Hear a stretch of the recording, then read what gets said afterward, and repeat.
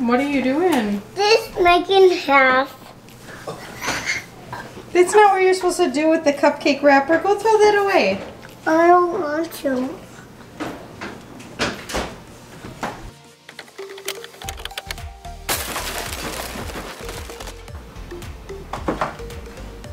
What you doing, Matt? Oh, I just washed a bunch of eggs. They were sitting underneath there for three days, I think. You're not fooling them. You just bought all those from the store. Yeah. I bought them from the store and then I wash them. Never satisfied. the chickens are finally laying eggs. Yeah, 15 today. Well, when you let How's it going, Eli? when you let them uh, build up for three days, 15 a day maybe. No, they had 15 today. We got the eggs yesterday. 15 today, but it's also it's warmer and it's getting the sun's being out longer. Come on, I need to get to 40 degrees to get in the bees. On to your next task. Yeah, so now we had a birthday party this last weekend. So I am going to take the leftover pork, bag it up for another day so it doesn't go bad.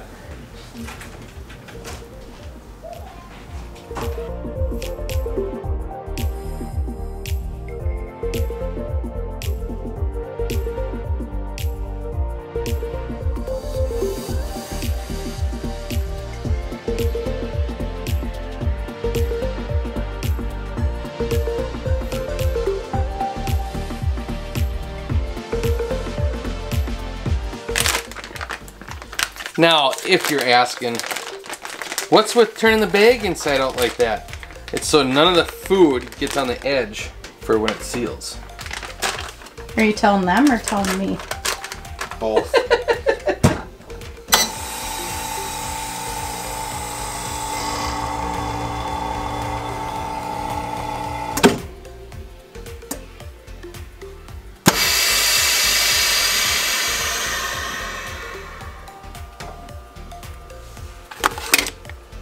Voila! Now you have pulled chicken butt. It was pork, Matt.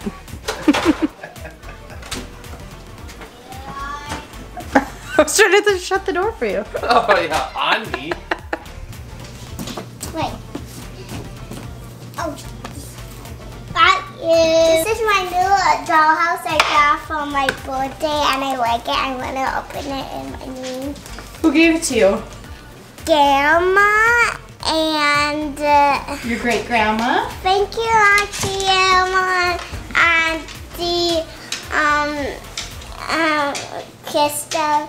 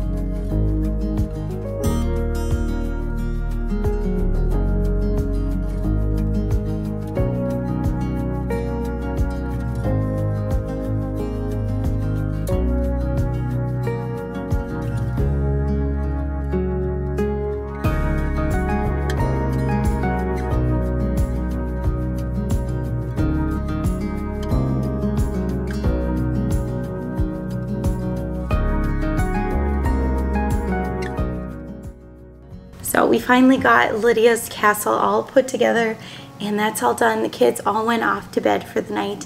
And today, officially, I have all my seeds, including what I already had. All my seeds have come in the mail now. So I am so excited about this. I got some wonderful, exciting things. From Baker Creek, I ordered some marshmallow root. Marshmallow root.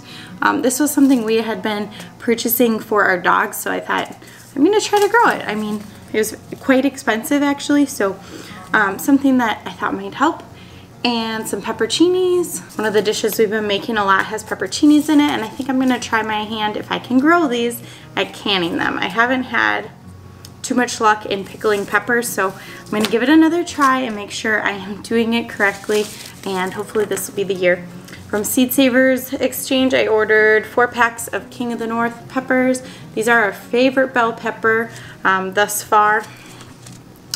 And from Johnny Seeds, I ordered some Patterson onions and some King Richard leeks. This will be our first year planting leeks if we find the space for them, so that's really exciting.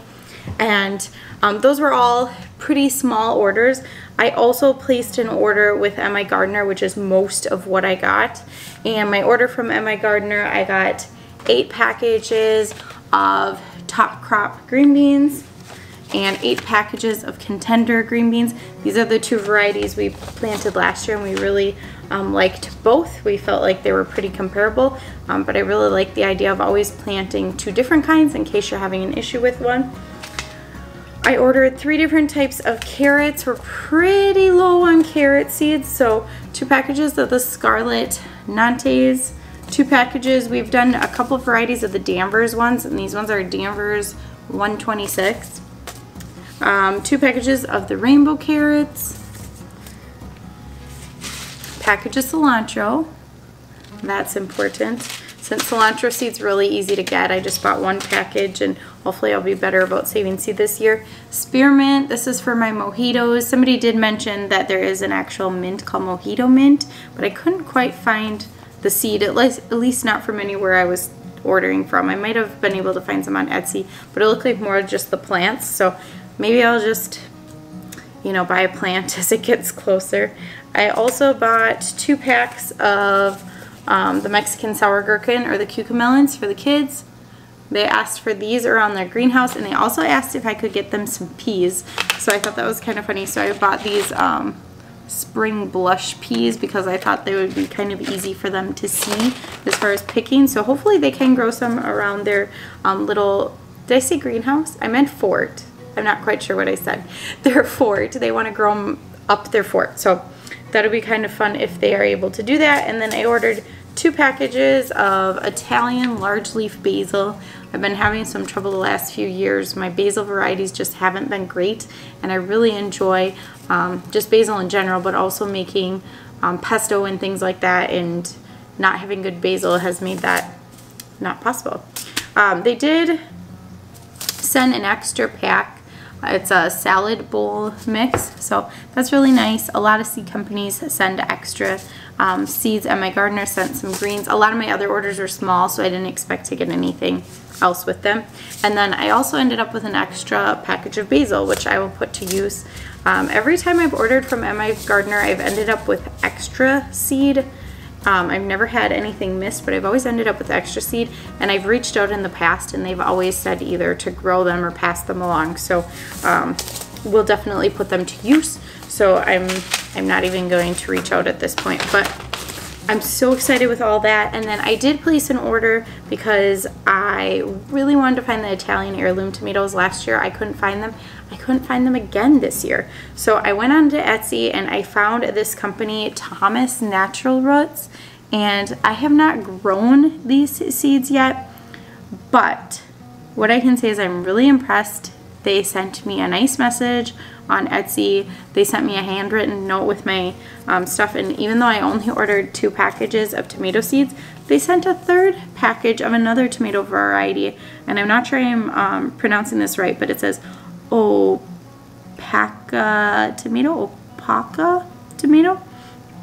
And so um, it looked like another kind of shorter seasoned tomato, I guess you could say. So I'm excited to give those a try. So that it was very nice of them. So so for my experience with them was really great. That was um, Thomas Thomas's Natural Roots, and I found them on Etsy. When you type in names in Etsy, there's no spaces, so Thomas's Natural Roots.